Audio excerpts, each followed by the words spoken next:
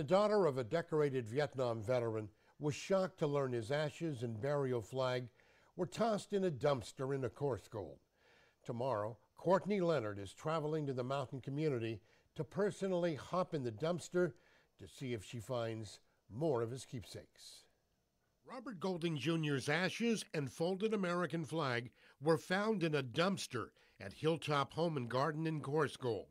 His daughter, Courtney Leonard, who lives in Santa Cruz, can't believe someone could be so heartless. He loved his country. He he always said, you know, duty, honor, country, and that was how um, he lived his life. The woman who found the American flag in cremains kept the flag, but handed off the ashes to three veterans who she didn't know. Courtney Leonard wants to contact the trio. And if anybody who sees this happens to know those three veterans, and even if they did scatter his remains, I would like to talk with them and just say thank you for doing that. Vietnam veteran Robert Golding Jr. died in 2012. Courtney, an only child, wants to give her dad a proper burial.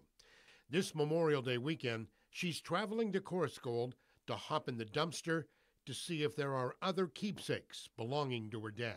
Anyone would do that for a person that they love. You think there might be something else in there? I I believe that there must be. And if, even if there's not, I'm still going to go and look. I wouldn't not try. Courtney calls the woman who found the ashes and flag a hero. Courtney says without that woman's curiosity, she never would have known a thing 12 years after her dad's passing.